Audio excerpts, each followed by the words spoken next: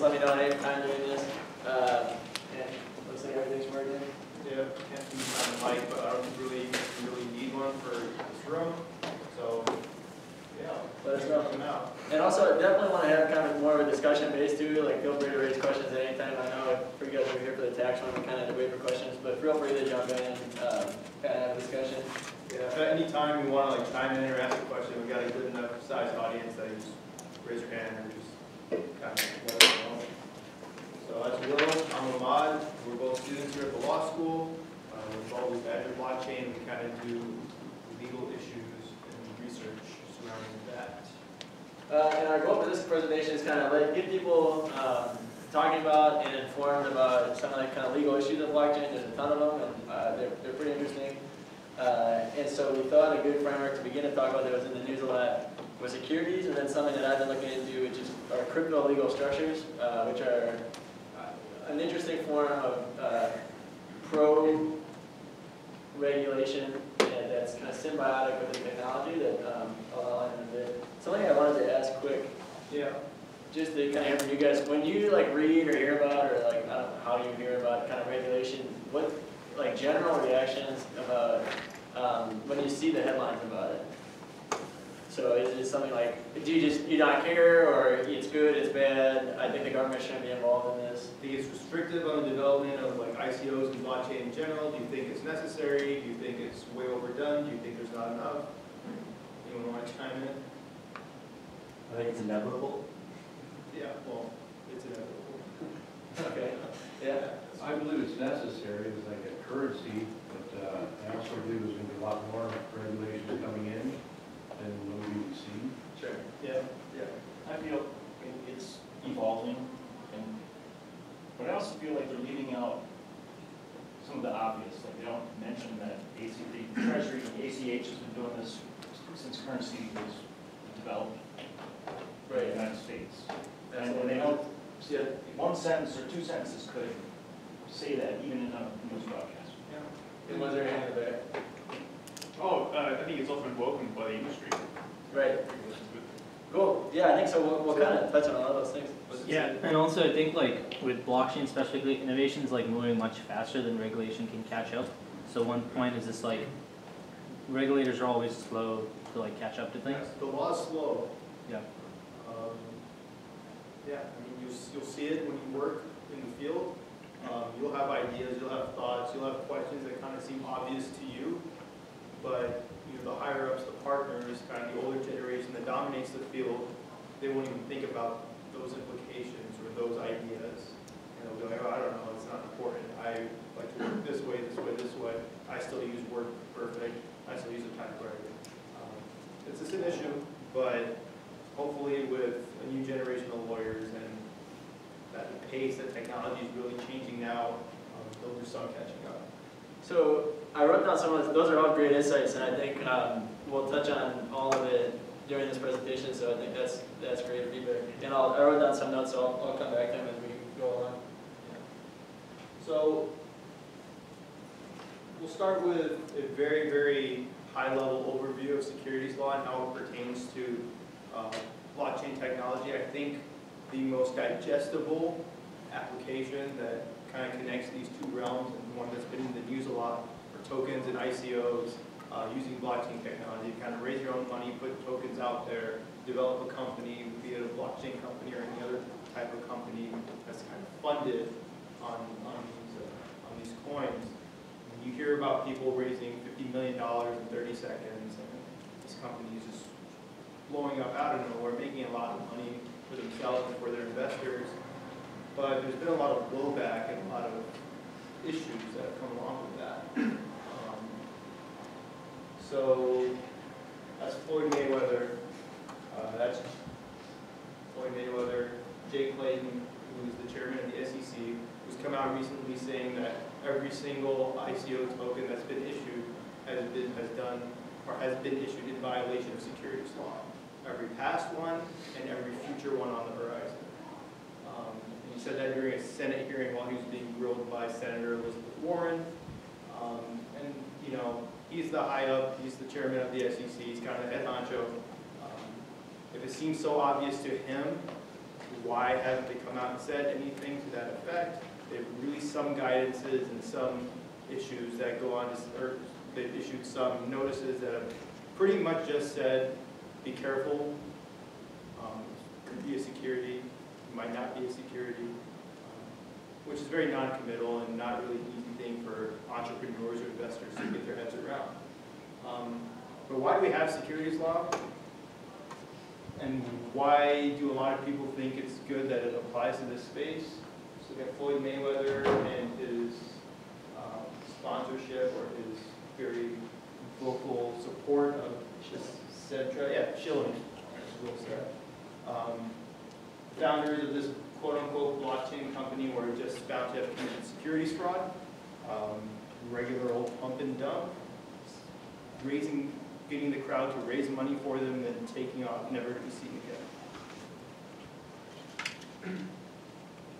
So, this is kind of a overview of what we'll be talking about. How we classify an ICO, is it crowdfunding, or are they offering? Um, our token security, and we'll go through the breakdown of how you determine whether something is a security or not. And then we'll talk about the state of ICOs today. Can they fit in the regulatory regime that exists in today's space? So, is it a crowdfunding, is it crowdfunding or is it an offering? You know, when you think of crowdfunding, what do you think about? Kickstarter, someone saying, hey, I want to come out with this cool new video game, this movie, this book, um, help me raise money. Know, It sounds quite a lot like what a blockchain company might do when issuing a token. It says, hey, I want to explore this application, um, but I need money to do it. Let's all get together and we will raise, I'll raise money from the public so we can get this started and get this thing going. So the biggest difference is with a traditional crowdfunding um, project or crowdfunding offer, you don't get a, a promise of a return of value. So I say, okay, I'll give you hundred dollars because I want to see this video game made. That's great, I don't get anything back from the video game company that increases in value to me. I don't get any equity in this video game company. I just get the satisfaction of maybe being able to, you know, go to GameStop in a year and pick this game off the shelf and go home and play it. Not so true with most tokens out there. You buy a token because this company is trying to raise funds to do something, and you, it's a give and a take. You give them your money so that they can get this done in the hopes that what they give you in return increases in value, so you can, you know, sell for more money, get rich. So I would say, in my personal opinion, that an ICO is more analogous to offering. It's in the name, right? Simple as that. So what is a security? Uh, it's defined in Section 2 of the Securities Act and Section 3 of the Securities and Exchange Act. It includes things like stocks, bonds, notes, futures, swaps, debentures, and there's a little catch-all, as there is in a lot of legalese, a lot of contracts, a lot of things that you'll read, um, called investment contracts. What is that? No one really knows. Does an ICO token fall under an investment contract? Maybe, probably.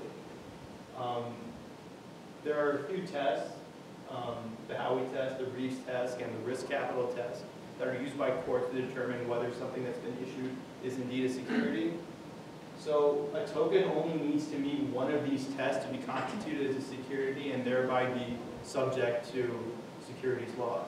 Now there is one really quick and I won't say easy way out of it. It's really not quick given how the government works, but there is a way out of all this stress and that's just to tell the SEC like, hey, I'm going to go forward and say that my token is a security, and I'm going to register in one of a few ways so that you don't get mad at me. The downside to that is that, one, it takes a long time, and two, it's very expensive. So the Howey test, this is kind of the seminal case in securities laws decided by the Supreme Court in 1946. So over 70 years ago, and we're still using this.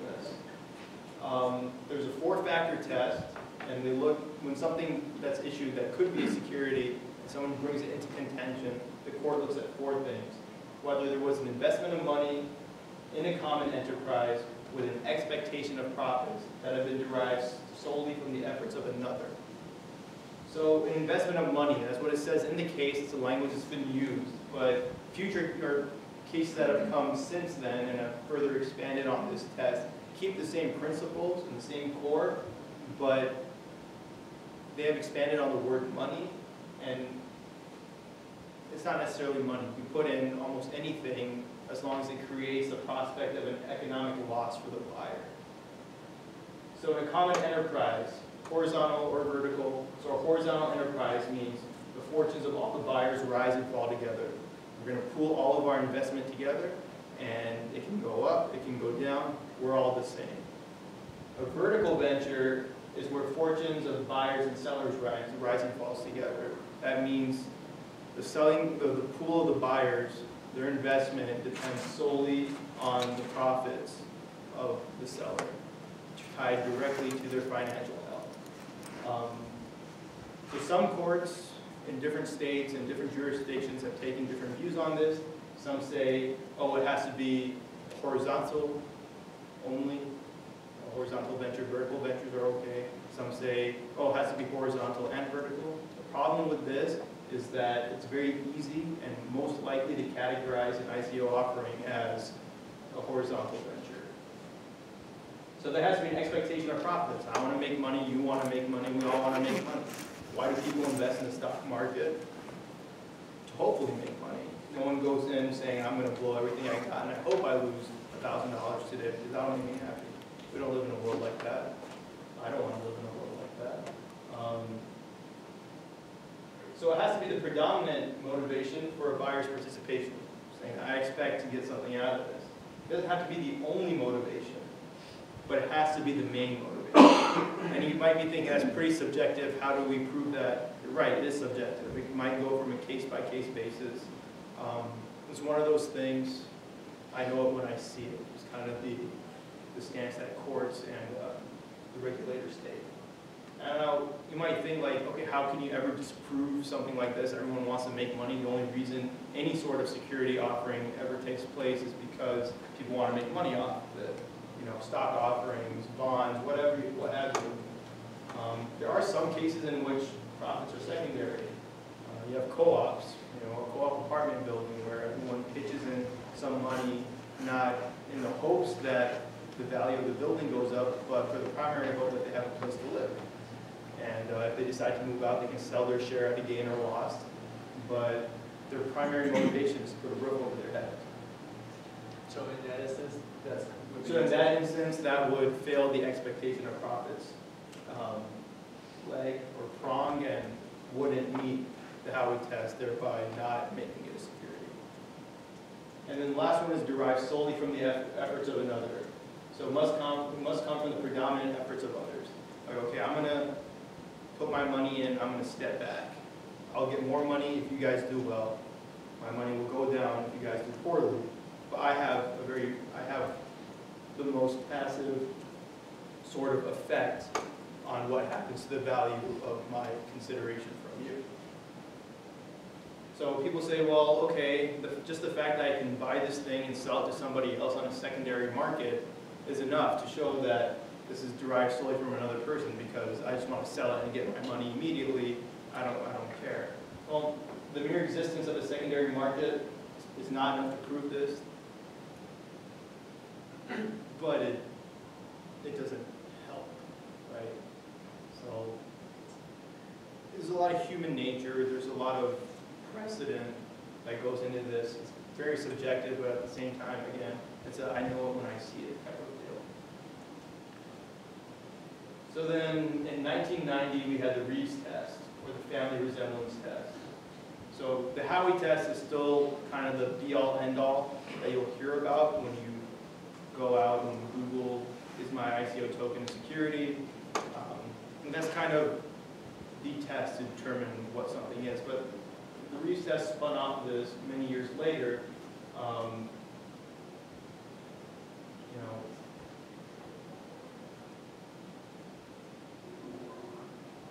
so, let's see. So the presumption that an instrument is a security can be rebutted if it bears a family resemblance to one of the enumerated categories on a judicially approved list. So basically, if I get something, and in this case it was a note, a promissory note debt. So notes are traditionally categorized as securities. But in this case, there were some terms on the note that put it in some iffy water. And so they said, okay, well, it looks like it, you know, if it walks like a duck, and quacks like a duck, it's probably a duck. And that's what this, this test is. So you look, so you look at the motivation of the buyer and the seller. If the seller wanted to raise money, the buyer wants to make money, it's a security. Plan of distribution, is it distributed for investment or speculation? Now, this, this is where you might come and bring in the differentiation between a security token and a utility token. The Utility token might be distributed for, again, speculative purposes. Saying like, oh, this is for your utility, this is a tool that you can use. You're contributing to a bigger project and you're hoping to get some actual functional use out of it instead of just hoping it increases in value and you can sell it off later. So that argument kind of rests on this point, and I, I would say in my opinion that saying a utility token is not a security is very dangerous water to get, because there's so many features and so many um, parts of a utility token that can be tweaked that may need other tests that we'll see, or that, that may even meet the prior test that we talked about. But that's the point that a lot of practitioners bring up and people tend to discuss. Um, the reasonable expectations of the buying public. So if the buying public reasonably believes that they're protected by security laws, this thing that may or may not be a security is probably a security. And then the presence of an alternative regulatory scheme. Is there another regulatory body which reduces the risks surrounding the instrument? Um, Like the FDIC, if you're buying, you know, insurance or mortgage bonds or anything like that. Um, You say, okay, well, the SEC might not have a lot to say about this, but this is heavily regulated by the FDIC, so I feel good investing in this. Um, It's not a security. With tokens, this becomes problematic. So, if I for this one, I would, for all, for this, for about this, I would think these three don't apply. And this one probably does, but this seems like a much friendlier test than the Howey test. Yeah. So, again, like I said, it only needs to meet one of the tests. You can put all your eggs in this basket saying the Reeves test is friendly to me, the Reeves test. I can show that, you know, all these problems are met by, by what I'm doing, and forget about Howey for a second, like, let's go off of this. That's irresponsible, because the Howey test will always be looked at. No one's ever going to you know, anybody who's investigating or taking a look at this from a legal perspective is ever gonna be like, forget the Howey test. The Howey test comes first. The Howey test is what comes, you know, comes before all. Okay. So, let's say you get through all these things, you don't, you don't get um, squashed by Howey. The Reeves test gives you a little bit of relief. Um, Then you might have, and those two are both on the federal level. So there's something in securities law called the blue sky laws, meaning that we have a federal regulatory scheme, but securities are covered by the blue sky. You know, so anywhere and everywhere may have a different view or take things even further than uh, what the federal law does. So you might be good from a federal standpoint, but you don't want to start operating in a jurisdiction that has extremely uh, strict blue sky laws. Um, so this is another four-part test. Is there an attempt to raise funds uh, through an indiscriminate offering to the public at large, where the investor is in a passive position to affect the enterprise success, and the investor's money is at risk because it's inadequately secured? I would think that any state putting up a most tokens to this test would say that a token is a security. Um, So I would ask, I'd ask you guys, so in these three tests that we've outlined, are there, does it seem like on its face that, and considering that tokens are not monolithic, but generally the ones like in the top hundred of coin market cap and what they're for, are there ones that you pick out as saying, no, I don't think that should meet the test? Yeah. I guess the question I have is the passive position or the, on the other behalf, how much was like shilling and stuff like that count as active participation? Because a lot of them sort of ask for people to pump it. Yeah, so, So one way that you can kind of skirt the Howey test, and that- that's, that's a really good point. um, The passive nature of these things, or even um, taking money, because this would fall under, both under the derived solely from the efforts of another and the investment of money prong of this test. Uh, Either shilling or even app coins that say, hey, um, if you want to get the coins, great, but you have to contribute to our service, not by putting in capital, but by mining for us. Say, okay, I'm doing some productive work instead, I'm not contributing money, I'm barely contributing my time, but I'm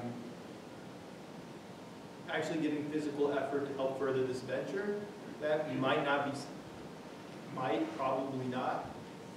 Again, I'm using a lot of See, I, see, it seems like that could, that's why I saw the co-op exception, because then if you're able to make a strong argument that contributing to algorithmic solutions and that the purpose of it is for a DAO that's for some other entity, then, um, I, think that there could be interesting exceptions there.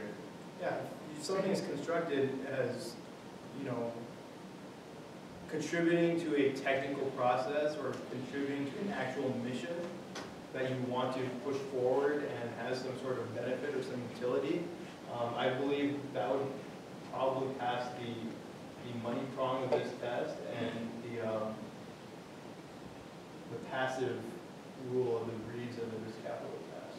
In the example you gave though too, there's, there's very well-defined case law and regulations about, um, for consumer protection, about the sorts of shilling, because it isn't, pump and dumps aren't unique, like obviously, and as you mentioned, it's, the regulations have been around forever to stop people from doing pump and dumps. That's what we have securities laws. The, the whole point, the whole proffered point of having securities laws is to enable market participation at a very low level. Instead of just limiting it to the people in the know, the people with all the money, the people who can take advantage of the working public. It allows for market efficiency by participation on all levels. So if you, if you go to a you know, ordinary investor, myself, Will, or somebody's off the street and say, hey, look, you can participate in the stock market, you can try and make money this way, you can help further the economy this way, you'll be protected from schemes and fraud by the government. That gives you a little more comfort, a little more incentive to participate. Whereas if something like this doesn't exist, and someone, you know, runs, who's got like hedge, hedge fund money, can set up a Ponzi scheme, you know, Bernie Mac, Bernie Madoff, right? This, these protect you from the Madoff, Madoffs of the world. Um, And there's a figure out there, I don't know um, how kind of, witch hunt scary it is and how exaggerated it is, but someone said, um, or this has been published, that Is the MIT study? four out of five uh, ICOs are all fraudulent, not just security violations. You know, you can have a security violation in good faith, saying like, well, I didn't try and scheme anybody out of my money, but I didn't, you know, call up the SEC and say that I'm doing right? But, you said four out of five were constructed with the intent to take people's money and just run, cut and run. I thought, I thought MIT had one where it was three, thirty percent.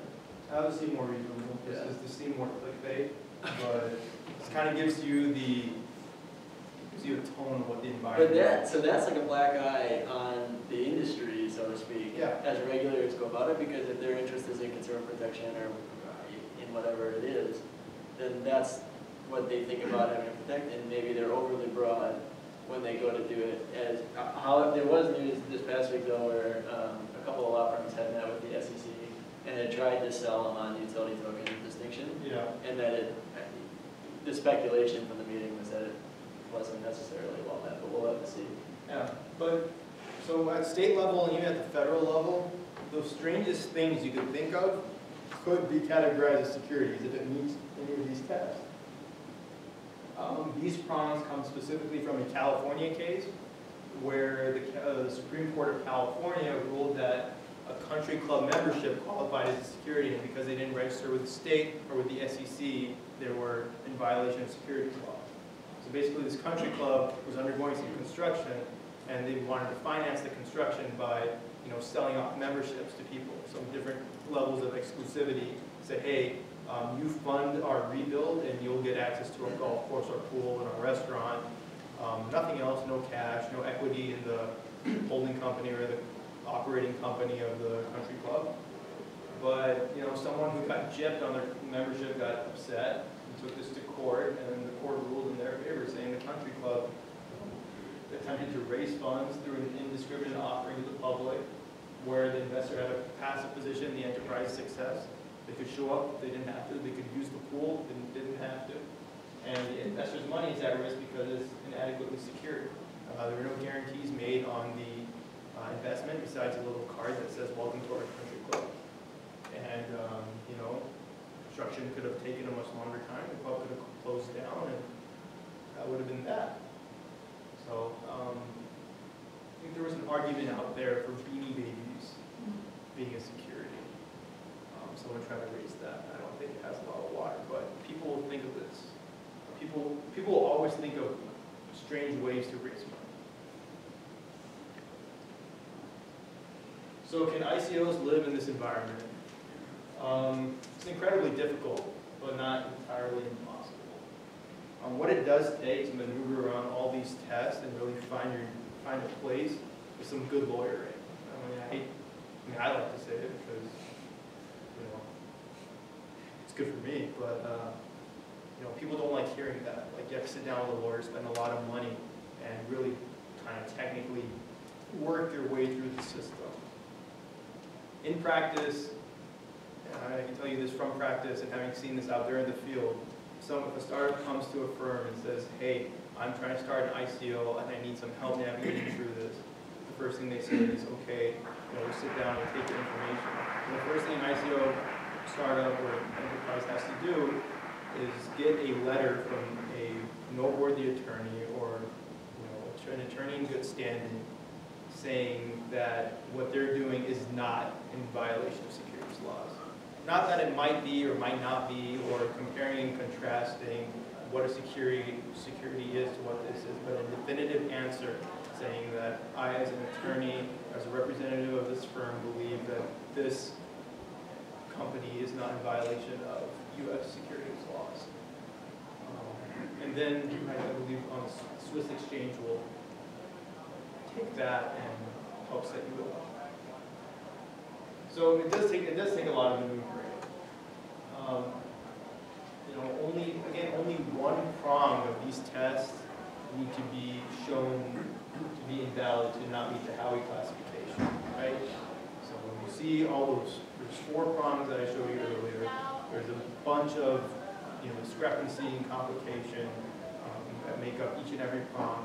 If you can find something to stand on, just one leg to stand on that you're confident in, and that you can back up with evidence and technical expertise, you might be okay.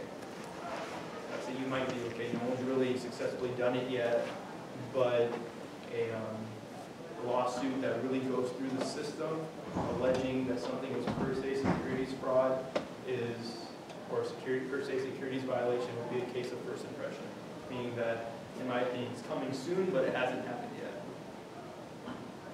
Um, so there are other ways of living within the system.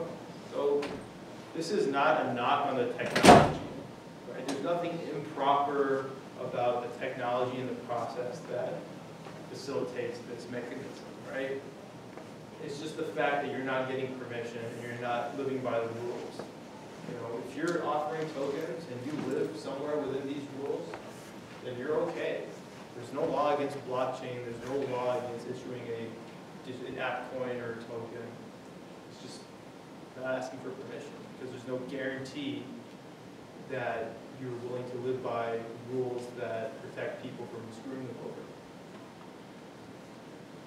So we'll go to Reg A+. plus. So this was an improvement on the existing Regulation A uh, in the Securities and Exchange Act.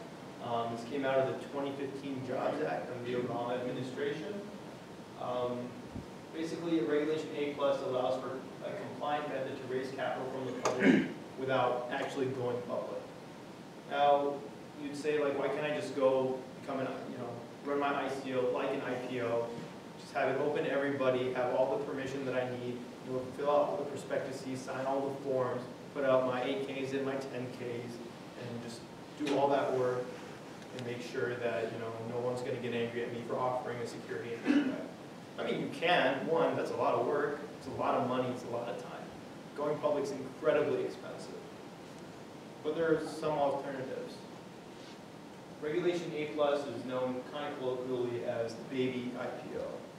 So you can only raise up to fifty million, but you still have to have, um, offering statements with the SEC. Uh, you have to file your statements with the SEC for their approval.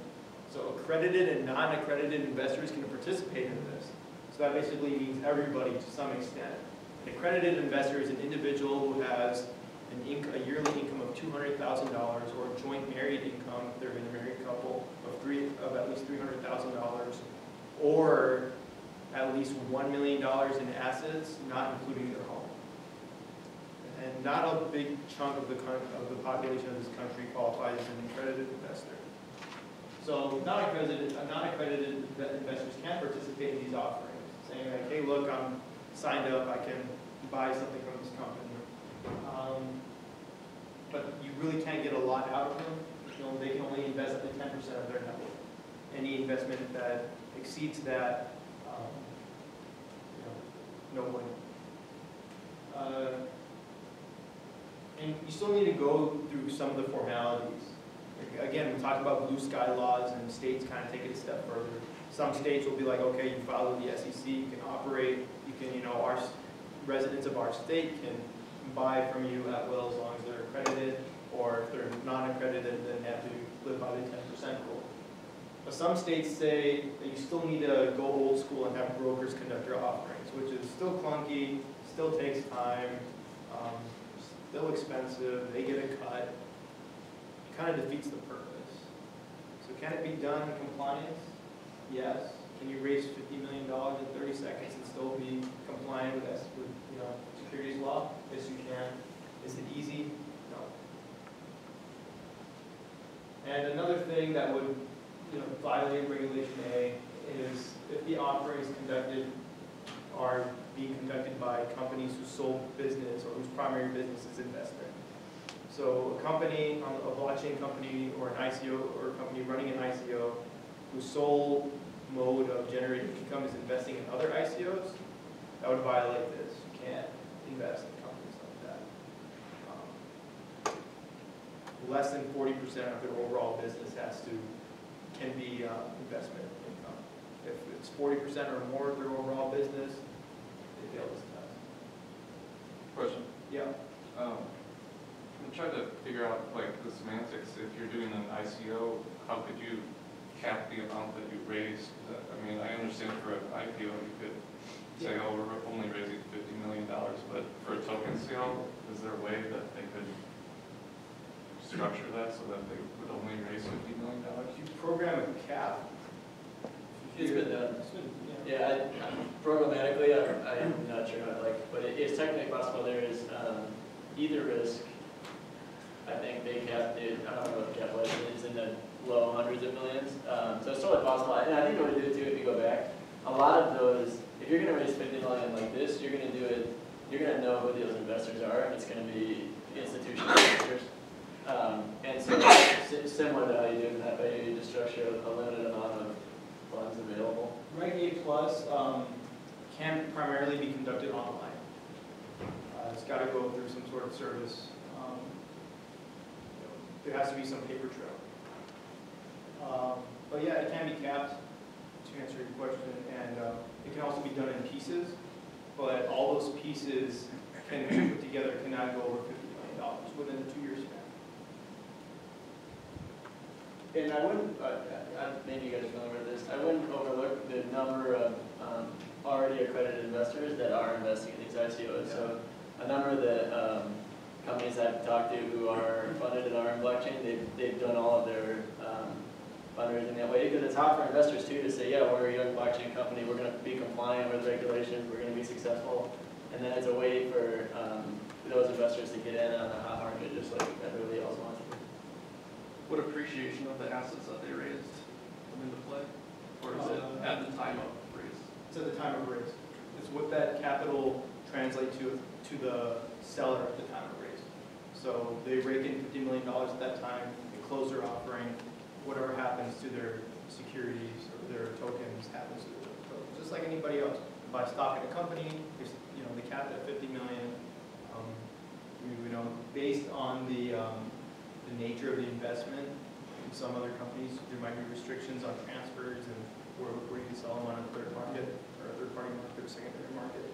Um, But yeah, as long as the company caps off at that fifty million dollars, it's out there in the world, or whatever, hopefully, you know, it goes up in value, and they go from there.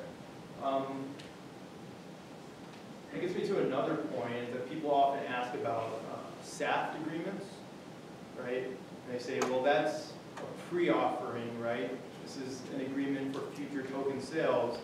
Um, Can I just, you know, sign this and be covered and not have to worry about these regulations and these laws because it's not happening yet? Um, You know, they can raise money through a promise and find a way to kind of navigate the waters a little bit, and then later on, when I, when I actually get my token, will I be okay? And the answer is probably not, um, because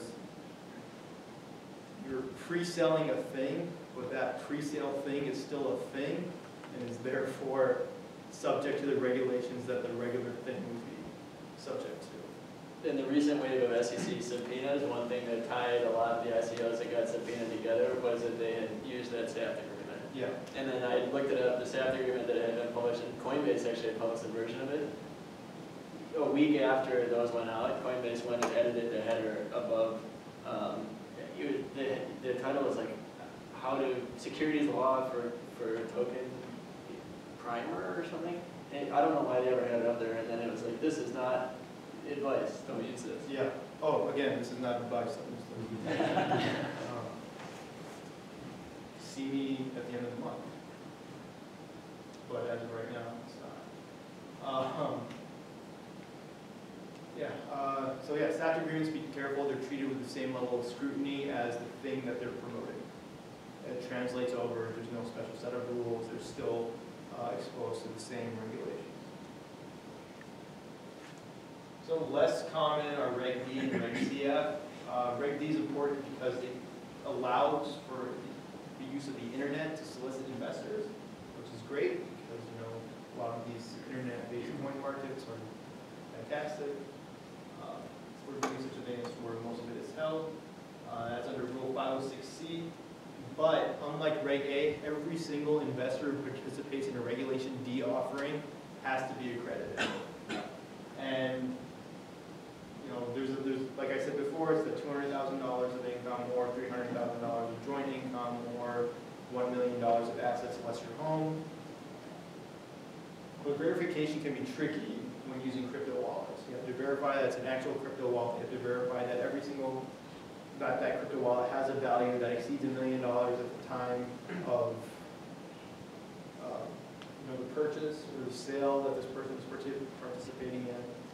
Um, Again, that opens up my thoughts as to the implementation of blockchain, tech- blockchain technology and smart contracting as a whole. If you find a way to kind of smart contract these rules in and, you know, define these rules and verify these, regulations, um, that might be a way to really live and, to live by this rule without causing a lot of trouble, or any trouble whatsoever. Um, You know, you can, if you have a protocol that says like, you know, all right, this person is participating in this raise, and there are ways of verifying it on the blockchain that this person has shown accredited investment, investor status, that might not make this a problem. Right now, that's one of the biggest hurdles there is for living by Regulation D. Uh, There are no limitations on the amount raised, so no $50 million cap or anything like that. But there are limits on how they can be treated and to whom. Again, with this accredited investor um, rule, you can only sell to other accredited investors. If I, if I'm a- an accredited investor and I participate in a Regulation D offering, and I buy a security, I buy a thing of stock, I buy a token, and I want to sell it to somebody and make some money quick and cash out, um, I can only sell it to another accredited investor. So that has to be traced, that has to be watched, that has to be really um, heavily tracked. And I think, you know, correct me if I'm wrong, I think the the blockchain is kind of like the perfect instrument for doing something like that. Uh, the last one would be Reg CF, which is the crowdfunding regulation. We talked about crowdfunding a little bit. Um, Based on the success of things like Kickstarter and Indiegogo, um, people got the idea, why can't I raise, you know, do an angel round or some sort of seed raise that kind of follows these principles, instead of like knocking on the door of my neighbors or bothering my parents or my family members or putting on like a little Cutco presentation in my living room, and say, here's why you should give me a thousand dollars. Um, Why can't I just go online and have, advertise myself and have people give me some money and go from there? Um, So the SEC says you can, you have to file a statement with the SEC, but they never read it. So it doesn't have to be that, all that detailed, because more likely than not, they'll just be like, okay. And why is that? Because it's pretty small potatoes. You can only raise up to one point zero seven million dollars through crowdfunding. And that money carries over from previous transactions. If you've gone out and kind of raised in a more of a traditional of early raise where you're asking your friends and family for money, and you say you make, you know, five hundred grand by doing that, and you're like, okay, cool, I wanna now open this up to the public and just kind of throw myself out there and see what people will give me for my company, or give me for stock in my company. Um, You only have five, you know, five point, five hundred seven thousand dollars, or whatever that is, five hundred seventy thousand dollars left of raising you can do. Otherwise, you violate this, you no longer fall in the protection of Reg CF, and you fall into other regulations now, because you've reached that one point zero seven million, million mark. Um, And you gotta conduct your raise on a broker-dealer service or website. So you can have an online platform, but they have, to be registered as a broker-dealer. So if a, know, something like a Coinbase or a place where you can buy and sell tokens, registered as a broker-dealer with the SEC, not hard to do, kind of expensive, but far from impossible. Um, You know, kind of crowdfunding smaller, early ICOs um, could become a thing. Every apologetic thing. Do you know if uh, Filecoin crowdfund was regulation B? Um, it was funded through uh, Angel List? Uh, if it was funded through Angel List, it's probably, probably CF. Because you need it to be a regulated, uh, accredited investor. Yeah, so it's probably somewhere between Reg D and Reg CF. Um, If it was, if Angel List, if they were doing it through Angel List, odds are that Angel List um, got the push, what needed to be pushed through the SEC. So if you're raising on the internet and you don't need accredited um, investors, or if you have credit accredited investors, they have to be accredited investors. It was probably somewhere between these two. So like, like the, Reg D, yeah. Alright, so that's a nice little say. Do we have any questions about those? Any questions before we go on to part two?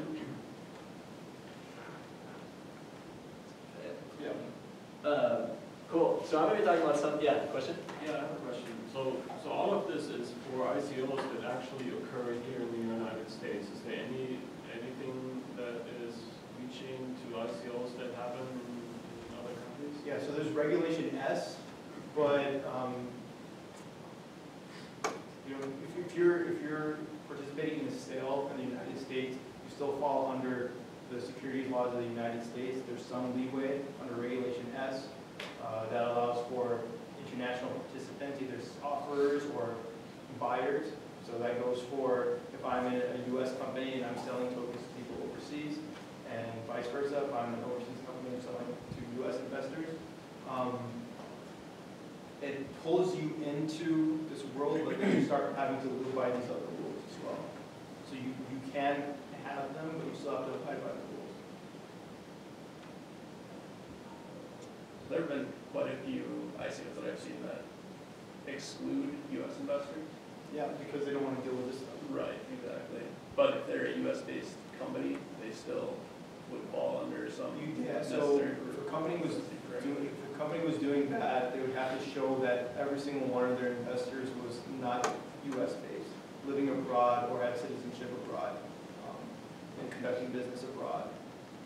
Um, It's a hard standard to meet.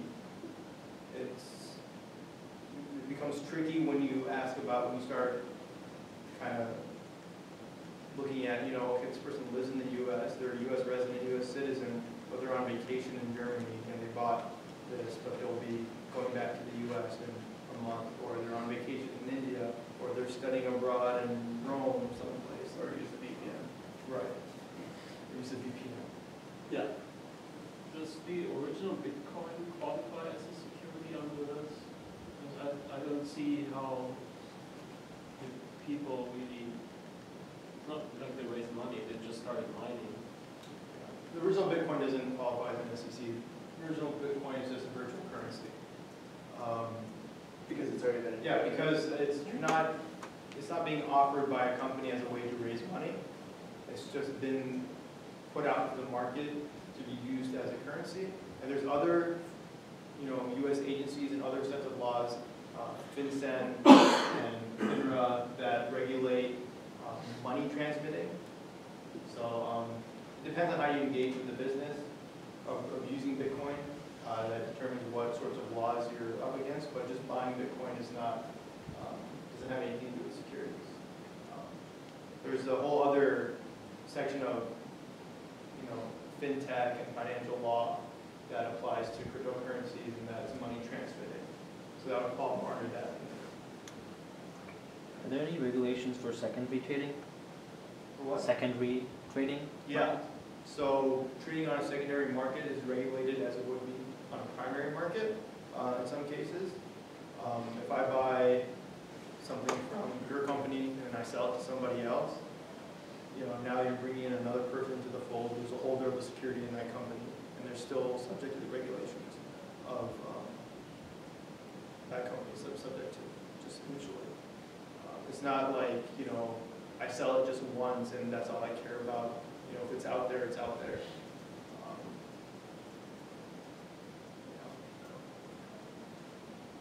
So Securities laws still apply because, you know, I might, you know, if you're issuing a coin, right, I might buy it from you, right, for, I'm, I'm gonna pay you a hundred dollars, right? And I have my token, and then I go and I sell it to Will for two hundred dollars, and I'm out, I've got two hundred dollars cash. Now Will has this coin that turned out to be worth nothing. You know, I didn't know that would happen, I didn't know that it was a problem, he didn't know that was a problem, but the company did. So Will's been affected by that, Whoever- whoever's holding the token's been affected by that case. There's a bunch of complex litigation law, like litigation procedures that are set up through securities laws that they could undertake. So, long answer to your question, but the short answer is, you still, it still counts. Can these rules actually be enforced? I mean, if you can move massive amounts of cryptocurrencies across borders without anybody knowing, um, how, how can you So, tell if somebody is participating in an ICO? so, there's a few ways, I mean, you know, SEC is always investigating these things, they'll hear about things the way you and I hear about, and they'll, they have the resources to investigate. But odds are, it's probably not gonna be an SEC action or a full-on criminal action that really gets these laws tested. It'll be a civil case, somebody getting scammed by a company saying, hey, look, this company advertised me this, they said this on their white paper, and they took all my money and then ran. Or I participated in this, now this company got in some other trouble, I wanna sue them for doing something illegal. Um, That's how those things get brought to light. It's- And I would say, too, it happens kind of the same way that other criminal statutes are. So if you're doing money laundering, there's every transaction at your bank over ten thousand dollars, the bank has to report um, to the government. And so things like that, there's, I'm sure, complicated data analytics that the government uses, um, FinCEN uses, FBI, that allows them to track who's doing what, and they put the squeeze on certain people that they would want to do that. So if like BitConnect, and then it's, okay, we can make a statement here going after BitConnect, and they'll, they're able to identify people um, through, one thing that's interesting that Charlie Menard, the CPA we had a few months ago said was that the IRS has been hiring private contractors to trace addresses and build maps of where the money is, so that they're able to um, identify where it is. And it's, something that's interesting is that a lot, apart from privacy coins, there's talk about um, the tokens being pseudo-anonymous because it's, in theory, depending on where you leave the money, you can be totally anonymous, but if you need to sign into Kraken or Coinbase and you have to, they have to comply with, um, know your customer and anti-money law stuff, that's how the government is able to find, to identify transactions in certain ways. There's ways to get around it, um, and I don't think there's just gonna be dragnet enforcement of securities violations. But with these tests and knowing who some of the people are, they, they would be able to enforce them. And, it- and we'll see, I mean, I, I think that, um, uh, there's been some success about uh, prosecuting individuals and, um, uh, but we'll see, like with the advent of privacy coins and, um, uh, what the regulatory interests are. Anything else before we go forward? Cool. Uh, So this is, I, I want to tie together some of the stuff you guys said at the start, and then I'll introduce this. It's, it's a legal theory, and I think a theory of emerging technology that, um, feel free to push back on, say you don't agree, you think it's stupid, or you think it's super cool.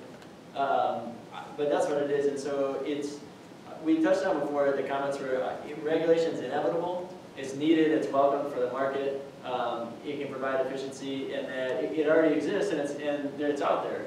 And so, um, starting with that pre-existence, I think there's interesting, so the concept that begins to inform crypto legal structures is law lag. So that the law is reactive, so there's, technology comes out, or people do things, and there's reactive legislation about it that says, or regulations that say, you, you, we, we wanna circumscribe that type of activity, and we're gonna do it this way.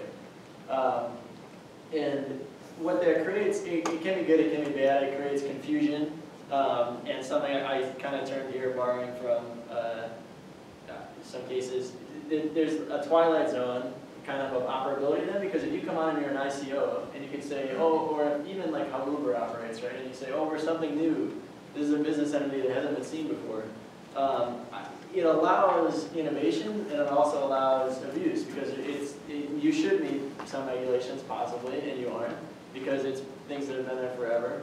Um, so for instance, maybe you should pay taxes, because this is exactly similar to other types of taxable, um, transactions. Or it's not, but the issue is that the law can't come out, you need clarity, and the market needs the clarity to be efficient, um, to come out. And so, because we're in that, the twilight zone of it, and haven't hit like a point of clarity where we're able to know, where businesses can say, all right, we're gonna do an ICO, here's everything we need to do, here's how to be compliant, here's the cost, and they can make a business decision about it. Um, we aren't, that isn't clear yet, but what that means is that there can be this advent and this opportunity for crypto legal structures, um, which I'll define here and outline, but it's, it, it's iterative and symbiotic, and it could potentially allow for an entirely new system of regulation that has, has only before been seen like in a, in a few ways. Um, so it, it, the theory lies in the field of reg tech, and I put, I thought it's kind of like the specter of regulation is, is moving. Um, and that, so RegTech is technology facilitating the delivery of regulatory requirements. So, um, just sticking with that first point, if, if it's saying, as Emaad had talked about, can you have technology that just is per se compliant? It doesn't deviate, then it can't. So that, uh, for instance, it's impossible, um, it, it, so automatic reporting, or if something, starts like, oh, here, we don't, there's no longer audits because it automatically reports out to the government the things it needs to report. Um, Where like if there's a sales tax and at the register, it gets auto, this tax gets auto debited every time into a, a tax account owned by the government, so it's like, that the technology is meeting the regulation without it having to voluntarily comply. Um, and that's something that I think was important to outline for it is that it's a, there's a basic pro-regulatory theory that underlies it, and that's market efficiency, stability, and recompense, so that um, if you think regulation more broadly as being a system that uh, circumscribes conduct, when I wanted to go get like a Reddit screenshot, if you ever go on Reddit and just go to the pages of exchanges, there's 20 posts about people saying, I'm gonna sue Coinbase, I'm gonna sue this and whoever. So even if there's a theory out there that uh, blockchain should exist extra governmentally, that's where people turn to when they get harmed by the abuses that exist. Um, and so a counter to this would be say, we, and which could be interesting and feel free to advance it, we don't need reg tech and we don't need crypto legal structures because we should just have crypto structures and they should exist independent of regulation because they're good enough and we don't need it. Maybe, I think, I'll go through this presentation, I think why I think that would be the case. Um, But keeping in mind that if those are three things that um, regulation does, reg tech can be important because then we can meet the needs that regulation do, so circumscribing abuse, getting good market activities um, to the fore, and then also improving their technology in a way that isn't burdened down by the kind of red tape that you um, normally see. So, law lag, here's a concept I described, here's two uh, lag in real life, yes. Um, so the typical process, it's what we see with taxation. I'm participating in this new crypto market, and I don't know what to do about it. I need to know, wait, I'm gonna file a tax extension so I can see. Um, like even Charlie, the CPA we had, said he was gonna get an extension, because he, and he was like, that's just the best thing for my assets. And so it's that there's this gray space and this twilight zone of, of clarity and, and what to do about it. Um, and so, an interesting thing you can we do here, there's this innovative framework that blockchain is, is I think, unique in the robustness of what it can bring to the table. Um, in that it's legal and regulatory frameworks that are, and this is a definition I it from Professor Carla Reyes, implemented and delivered through smart contracting, semi-autonomous cryptographic computer code. So the cryptographic structure is the legal rule or complies exactly with the legal rule. And what that would allow is this symbiotic relationship between the technical advantages and advances and regulation, which can be a benefit. So, um, for instance, I, ICOs or tax situations that are necessarily compliant, aren't burdened down by auditing and some of the, the costs of auditing, costs of filing with the SEC, um, but carry those consumer protections. Um, and so it's endogenous and it's an iterative process. It can have compliance with quality and there's a reduction of um, law because there's no longer this uh, months-long, years-long, decades-long period of, uh, of figuring out how to be compliant. And so this fits in a space uh, that I made the graph about where there's, if you were to describe kind of like where the crypto legal ecosystem could, could be, and I have a list of examples that we can talk through. Um, but here's just some ones that kind of pop out in my mind is that this framework could fit into a number of areas. Compliance for entities that are maybe blockchain based or just blockchain sophisticated. Um, or totally, it could be a compliance service that exists for companies that don't even use blockchain. Um, you could have smart legal contracts. So we've talked, you all know about smart contracts, but obviously they aren't necessarily smart, uh, legal contracts. But there's uh, groups working on ways to, to make smart legal contracts have the power of legal contracts. An easy way to do that is to make them, um, is have them be through consent of the parties, and so there's alternative dispute resolution systems that, that are coming up.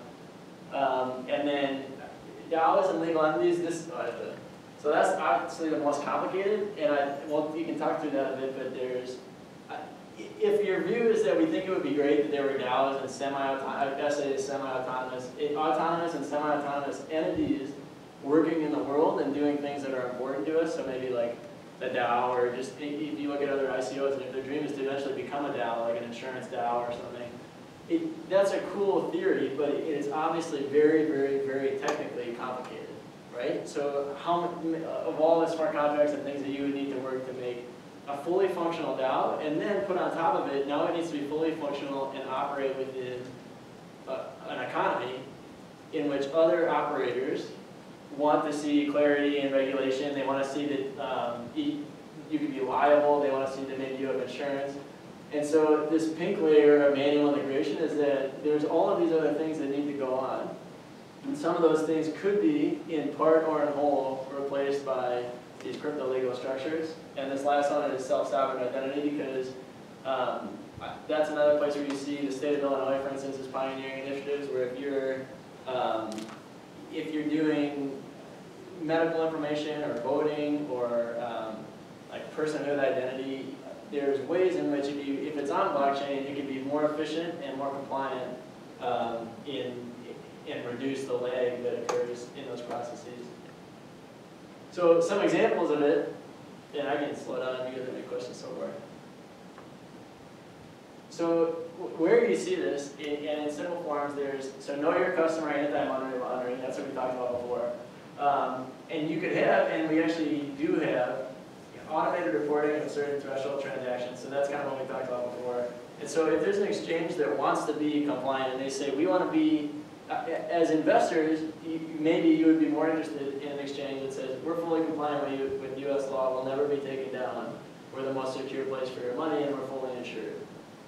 As an investor, that sounds good to me, and if they could do that through putting the process in their system itself, and maybe it's a DAO that doesn't, and so then it would be the pure example of a crypto legal structure where they've met all regulatory and compliance requirements and are operating functionally using the qualities of blockchain.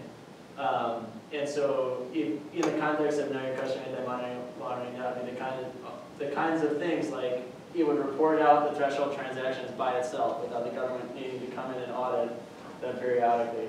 Um, it would you couldn't necessarily use it in compliance. So there's um, FinHaven and, and T0.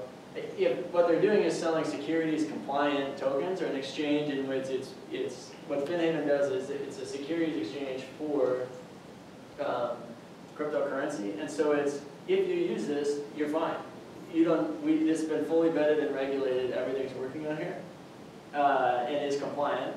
And so, interestingly, I didn't know this until I, was looking into this. Um, BIP 75 for Bitcoin, which I think is Bitcoin Improvement Protocol Proposal. Proposal, um, was about. I, I don't think it was the specific purpose. It seems to have kind of been a fallout of it, but um, it had to do with the user identification and that it, it, to make it simpler to send um, to an address and make it easier to identify who the address was that you're sending to. And basically what it did was construct AML Know Your Customer for um, the Bitcoin transactions. And if FinCEN were to draft a regulation saying use of that protocol, or proposal, um, is compliant with our current AML KYC laws, that would be a perfect example of a crypto legal structure in which every use of it is just per se compliant, and that there's no further regulation that needs to happen, and it doesn't need to be audited or checked in on.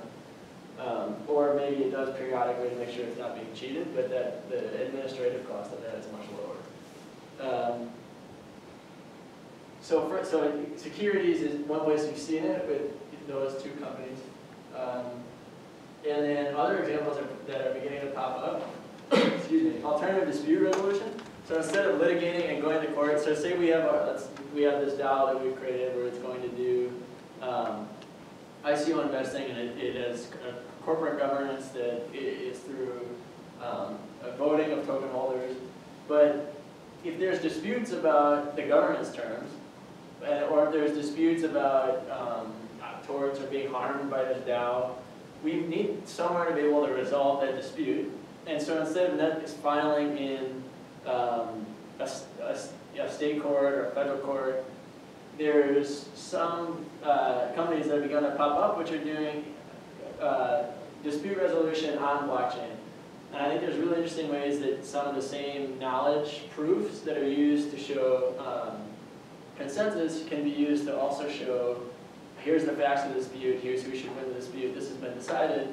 We've agreed to it as our participants in our DAO, and the cost was that we didn't have to go through 9, 10, 12 months of litigation and all the cost of it. Um, and so there aren't any that I've seen yet that are purely, and of the current companies that are doing dispute resolution using blockchain, um, we'll see which, like, if, if, if any come out on top, but I, I would be surprised if in the next few years, there isn't a, uh, or here's a business idea if you, if you're interested in it. I think it's totally possible and so it's going to be very useful for everybody because then each entity can turn to it and say, here's what we can use for our dispute resolution and, and investors will be more interested in coming to us. Um, so identity and digital signatures, which is kind of the um, Illinois example. So if, and some states have, I think it's Arizona, Vermont, maybe New Mexico, um, and maybe Delaware,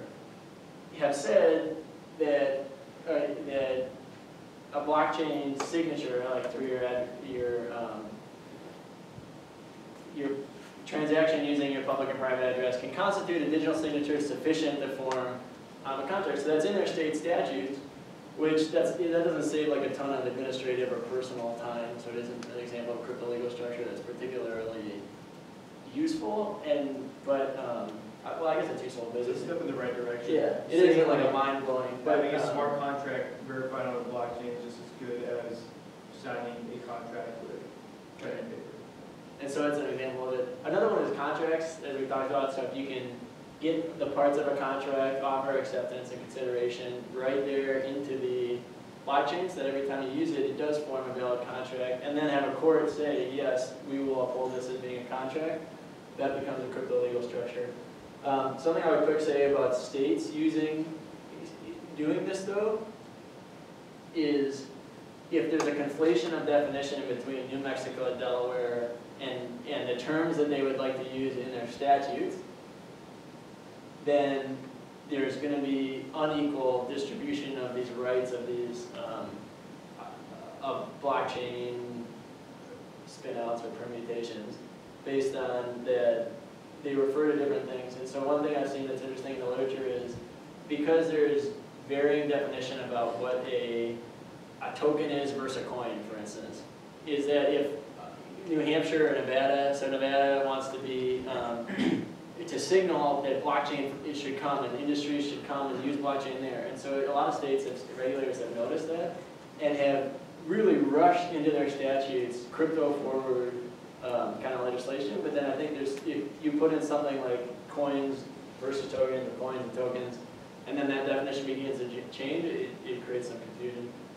Um, Imogen Heap pioneered interesting creative and music licensing. She sold a song just over blockchain. So if you think about like your, your rights as a creative publisher, it's easy to trample on them for us now because we can go to like, it's, we can just go on YouTube and whatever. But um, using blockchain, I think what she was looking at was, here's a way I can share my music and ensure that it's properly licensed. You can only access it because you're only allowed to access it through um, paying for it, and I can confirm using smart contracts that you paid for it, now you can use it. Uh, I think sales or income taxation, you could maybe do auto debiting or auto reporting, or imagine if there was a state-sponsored cryptocurrency that uh, everybody was paid out in, and then when you um, were paid, there was just a part of it that went to taxes. So that's like a super forward Big Brother situation, but that would be an example of a crypto legal structure. Um, and then finally, there's the potential for crime and societal regulation, which is more normative about the theory. So it's if we can do this, should we do it? So if you in, imagine that same scenario, so there's a state-sponsored coin, and you tie your vehicle identification number to your bank account, and you get a parking ticket, and the state knows about it, could they just boom remove the? Um, that's an efficient system, but like intuitively, is that something we would want to have, where the, the state has that level of access? And to that, I think there's then there's another question this brings up about impossibility structures. So we could now make it possible with the same technology to just not allow certain things to happen. So you could not allow contracts to be breached because now we've locked up Bitcoin and um, they aren't able to, to breach the agreement. Um, and an, an analogy of that is if there's a car that won't start if you're drunk um, or that can't run red lights.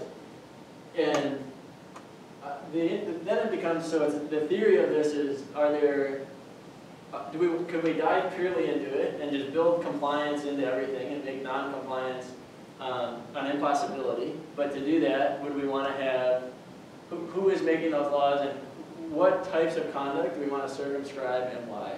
Which becomes a complicated question for the, the regulators. I think we have to have a lot of trust on them, in them that they're circumscribing the right conduct and the right behaviors in the right ways. Um, and there's advantages, so there's like, making it impossible, there's a disutility of harm um, to the victim and incarceration of the actor. There's cost of prosecution and investigation. And um, here, that's another example of blockchain being administratively efficient and allowing us not to be able to deviate from those norms.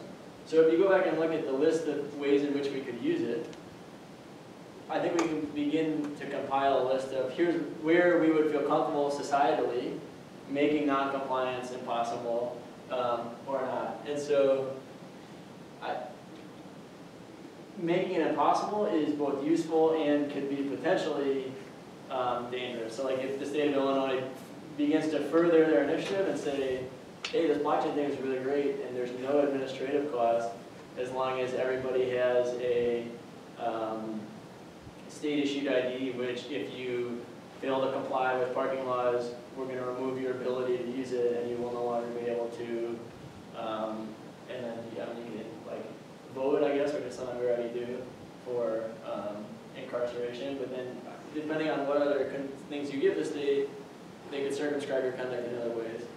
Um, but something I would point out is that people also take private action to circumscribe conduct yourself. So like, you lock your doors at night and, um, there's, for blockchain specifically, there's cybersecurity. And so there's private and public spheres in which the, um, this happens anyway. And so what's interesting is that, and even the smart, smart contract is a tool to do that because the smart contract, the whole point of it is we remove the administrative cost of making sure that you and I are both going to comply. So something I thought, as I was thinking about this, was interesting was we are already using blockchain in this way, and so it depends how far we want to take it. Um, oh yeah, so then I, I so I kind of laid out here like what's going on there with this encroachment on, on liberty, and then I had thought it was interesting to think about intuitively like we have a right to non-compliance. So in the red light example, if you buy a car that won't let you run a red light, like that to me that feels wrong. But then why is that? It's because like is that a is that a way in which the system of the cars and lights have been made in which I feel that I have a right to it, whereas they could have at the beginning made that totally impossible. Um, and so what we're doing is, and it depends on kind of your theory of law and justice, but that there's a balance of liberties and that we value the right to make a choice. Um, and that we have these liberties, so autonomy, privacy, personhood, those are the things you can bring up to say, no, I think that I do have those liberties. Um, and we circumscribe conduct against them. And I'm, I do want to differentiate too, is that crime and non-desirable conduct, I think, are different in those theories. But um, it's an important framework to begin to think about it. And so, with all that in mind, so basically what I was trying to outline there is the technology makes it possible, and normatively, whether or not we should do that, and to what extent, I think is totally arguable. Um, I'm not of the opinion that we should go like full on and make non-compliance impossible. I don't, I don't think it's technically feasible for a long time. Um, but it's something as we begin to play with like what we can do. Um, and it's not just blockchain, it'll be AI and different technologies that are gonna be able to do it. Um, but there's some super easy ones that are quick wins where it's like, when smart contracts as an example, here, this is great. Now there's no cost of administrative to ensure compliance. Um, and uh, KYC, AML ones, like let's make business entities that we want to support as being part of our efficient economy, able to comply with regulations so that there's no more cost of overhead. I mean, if you look at Fortune 500 companies, they have huge, like huge, huge, huge payrolls that are an expense that are compliance departments. So if you could, if technically you could make a DAO that would be auto compliant, you would have reduced that entire cost. Um, and so who's able to make these? And I divide this kind of into the public sphere and the private sphere. So we have state initiatives that are state sponsored, um, kind of like the Illinois ones where they're able to put self-sovereign identity on blockchain. Maybe voting is one that we see a lot as a use case, taxes. Um, and they're important because they're, they're frameworks that are state-backed. So as the regulator, they have the power to hand you the tool and say, if you use this, you will be compliant, everybody can cut down costs. Um, and then there's a private sphere, which is innovative companies that are thinking, oh, I should jump and, and become compliant. People will want to invest in me. I'll follow the regulations that are already there.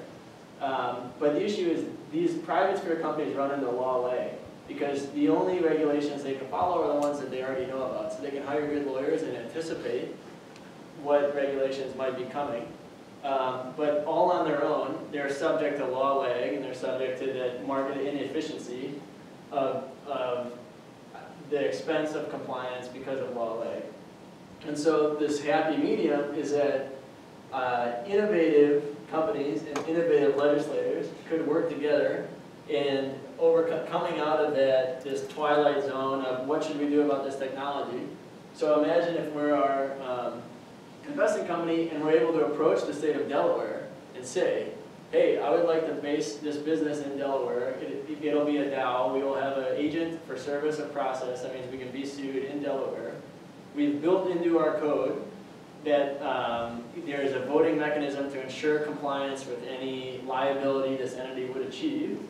And we have insurance, and we've met all of the um, other necessary needs that there are for the state of Delaware um, to be a C Corp.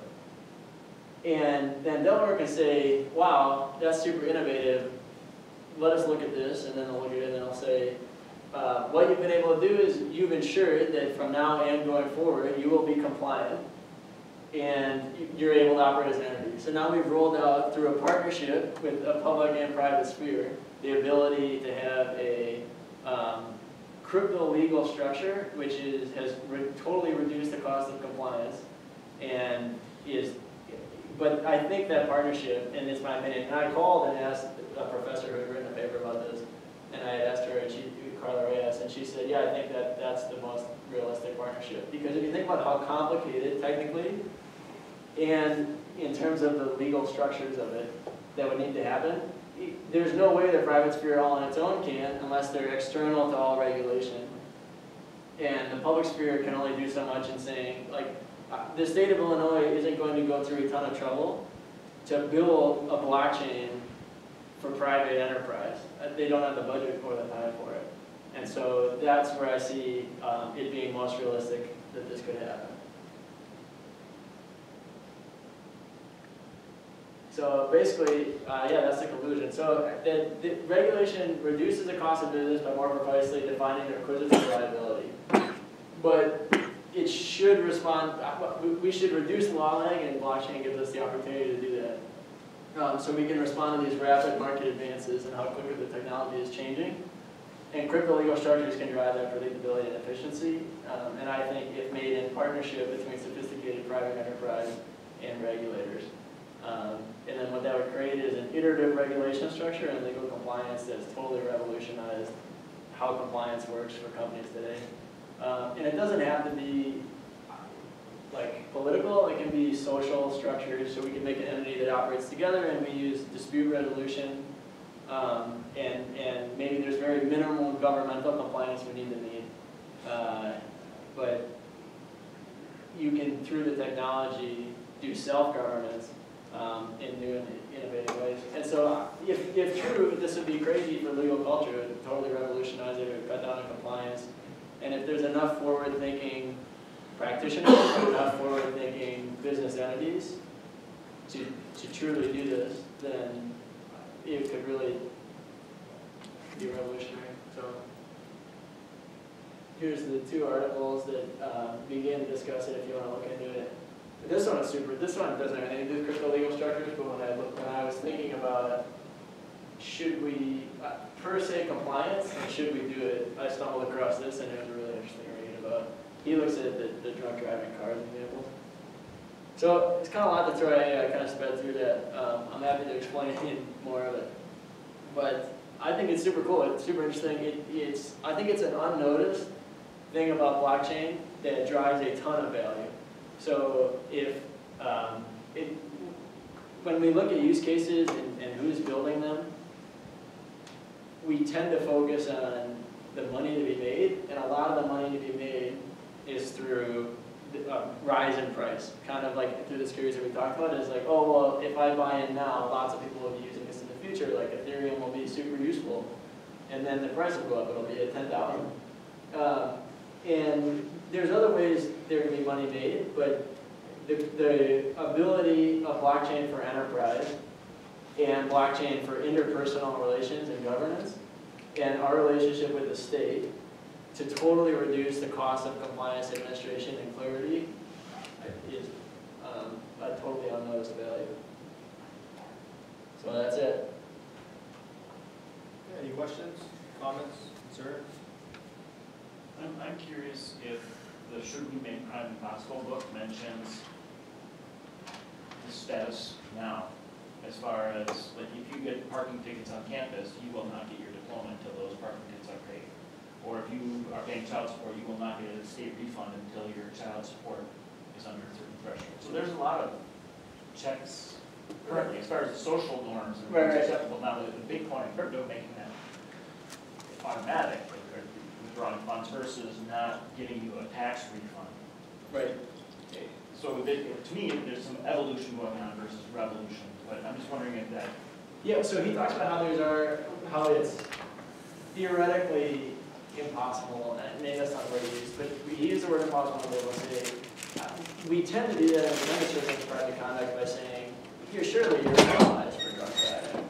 But the the technical ability to make it physically impossible to drive the car while you're drunk begins to make sense, to, to say, is normatively, should we do that, and could we do that, and what rights and liberties are there between people? And so the, the distinction with Bitcoin would be if you, not Bitcoin necessarily, but if you were to build blockchain structures in which it was impossible for them to deviate from the, what should be compliance, could we do that? And then that would make state regulators be like, oh, that would be great.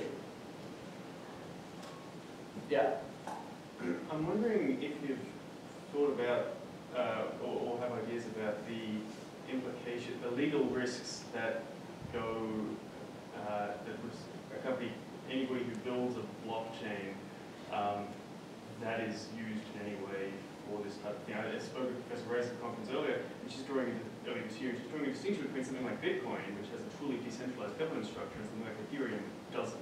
And so if you build something based on, for example, an Ethereum smart contract, and is, you know, something illegal happens on that, does that type of governance structure in any way accord to anyone who's building Right. I, I have thought about that, and I did ask her, uh, when I spoke to her about the, the international nature of it complicates it further, because it's like, well, how- who can we go after and why, and why are they liable? And that is a prime, she said that's something she, that's her, one of her next papers she wants to write, and it's, uh, the thing about DAOs, when I talked about them being in the market, or just like Ethereum, and, and- we want to encourage, we want to encourage the conduct of people being innovative and creating new blockchain structures that are useful. And, but we also want people to be accountable when they have act, when they do things that harm us and harm other people, and so we want to be able to, like the DAO hack. And actually, if you think about it, there was, there was self-governance and self-help there, and that they were reverse the hack, but the, we want those actors to be accountable, and I think that's a huge barrier for them existing and being useful in the market, and that's why I think they need to build in the ability to be sued and, or an alternative dispute resolution system for compensation, so that there can be recompense and meet that factor of regulation that's important. Practically, and what we see in the real world, so one example of that is the statutes against child porn and the possession of it, and that whether or not technically, if it's on the blockchain, which there's like seventy-six instances of it on Bitcoin blockchain, apparently, that, uh, some, there was a study done by Harvard, maybe it's MIT again, and that, um, that, means, does everybody who, who is in possession, who's mining or, or has a node, are they in possession there? And then, I think that's where law lag comes in, where we have a practical distinction between the, what is the current legal status, where it's just like, does it, there's discretion at the prosecutorial level, does it make sense to prosecute all those people? And practically, can you do it? No. Um, should we do it? I don't know, probably not. And so there's, those kinds of questions are also going to be very difficult um, about who can this apply to, who can this go after. And then finally, I would say there's precedent, I looked into it, and there's precedent that coders are legally responsible for um, damages that accrue from their, what they've released into the world. In practice, can you do that? Um, It's been done individually, but could you do it like for, a could you hold a miner liable for, for issues? I think we won't see it because of discretion and maybe because of lack of precedent. Does that answer your question? Would it be different for Bitcoin versus Ethereum? Uh, It's That, centralized, it's much more centralized. oh, yeah, yeah, so the central nature of it, um, I don't know. I you- I think it'd be, I- again, up to prosecutorial discretion, I think it would be, look at, depending on case law and what statute it is. So if it's a statute that's specific to, um, depending on what elements of the crime and what the crime is you need to meet, and whether it could apply that broadly, is the first thing. The second thing would be, can we go after all the people, should we, probably, can we or should we, probably not. But if you, let's, instead of Bitcoin or Ethereum, a more central, much smaller series, the, the small group fundraiser of ICOs, where there's twelve entities that got together to create something that they spun out into the world that was harmful. To me, personally, it seems like that personal nature of it could make them more liable, and there's probably elements of scienter here where they like would have to know knowingly or recklessly or negligently have spun out that. It's a, it's a big part of, especially when it comes to, uh, securities enforcement or, um, prosecution in that area of the law is knowing, is your level of knowing, scienter. Um, Did you understand that there was a risk that you'd be compromised or that you'd be engaging in something illegal, that you would be putting people at exposure or risk to something that's illegal or harmful, and you go about it anyway? Um, And then there's another requirement, which is, do they have jurisdiction over you? Which, with the distributed nature of it, it could be unlikely to. So that maybe if it's a Japanese developer and it's a that occurs in, you know, Wisconsin, then maybe not. And all of those questions are, there's just so much in the legal realm that needs to be, the innovative and quick pace of the technology is gonna begin to question some of that precedent. Yeah. Has there been any case law about smart contracts and disagreements about how smart contracts have been set up? Or, like, I know one problem with smart contracts is, like, dependency on an oracle for certain information. I'm just curious if that's reached any of the courts yet. Not that I've seen. No. I, and I, I, I'm not sure I would have seen it, but I, I think I would have. Then I- just have another kind of general comment. There's news recently that China's going forward with this social credit Yeah. program. And it kind of goes along with, should we make crime impossible? I mean, it's un- unrelated to blockchain. So, and the second thing, and if you guys watch Black Mirror, there's that Black Mirror episode kind of about it too. And when I watched that Black Mirror episode, it's totally feasible where it's like, that there's social capital and then there's social credit, and if we give the state enough power to circumvent of conduct, which we do, is we allow them to certain offensive conduct like speeding. Um, and should we do it, and when should we do it, and, or privately, not this, it's not as a state, like privately, we sign away rights of arbitration to other entities that we interact with privately too, and so if we want to get together independent of the state and and have agreements, the history of regulation is how do we begin to circumscribe the conduct that's unwanted and encourage the stuff that there is, so. uh, The China example is super interesting and creepy. Yeah, This is maybe a bit more of a political question, but, uh, so I heard you right, you're kind of suggesting that the crypto law stuff will lower compliance costs or minimize them to close to zero. right. But it seems that the, kind of the crypto law is how to get it to catch up to existing law, Right. which then you kind of get into the incumbent problem of the people who are big now are gonna make sure that those compliance costs don't go down because they're the ones who pay it. Right, right. I think So, Well, I think that's interesting too, and it's a question of lobbying power and who the entities are that are talking to the regulatory entity. And I think it'll be microscopic in terms of like, if there's a, a particular department, so SEC, it- and I think they've been somewhat, they have their interests and and some of them are political, it's, so I think it'll be, I'm curious to see what comes out of it. Um, But if, if Kraken and Gemini and and this, the law firms that are talking to those entities are able to put in their views, most regulation comes about through lobbying in a way. Um, And then in smaller levels, I think we'll see it state to state, so maybe like if there's Department of Insurance or um, other entities that they'd be interacting with. But that's an astute point, which is among the many other hurdles, including technical, like the ability to um, define what regulation should happen, can you enact it? I would say though, a number of states have like tripped over themselves to enact laws about crypto because they see this boom and they're like, oh, we, each state wants to be the next Delaware for business entities. And so Wyoming, New Mexico, they're, yeah, Nevada, they're tripping on themselves to be like, come here, bring your, business. I mean, we see it with Foxconn. And, and it's ju, it's, another way to do it is to signal like, we wanna be the next Silicon Valley. Coming in, um, us, really Yeah. trying to catch the Delaware's level. in Arizona. And they also have that proximity to uh, Silicon Valley as well. So look for that coming up uh, at the state level. And that's where the issue begins to come up with like, well, all these states are interacting them, are they meeting the same definitions, are they doing the right thing they should be doing, so.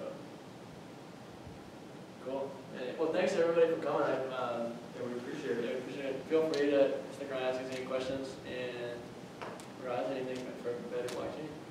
Uh, no. cool. But, yeah. Thank you very much.